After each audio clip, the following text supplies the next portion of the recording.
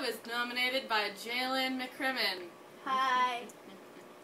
Um, for the ALS Ice Bucket Challenge, um, I am going to nominate Zio Atlin, Chloe Erickson, and my Aunt Jo, Josephine Conley. So, you have 24 hours. God, no. Okay?